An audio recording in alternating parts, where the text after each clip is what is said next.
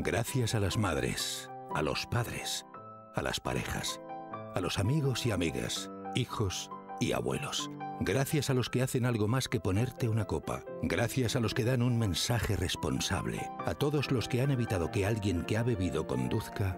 Gracias. Porque entre todos habéis conseguido que la vida de muchas personas continúe. Y gracias a ti, que cuando bebes no conduces. Lo que queremos es que llegues. Gobierno de España.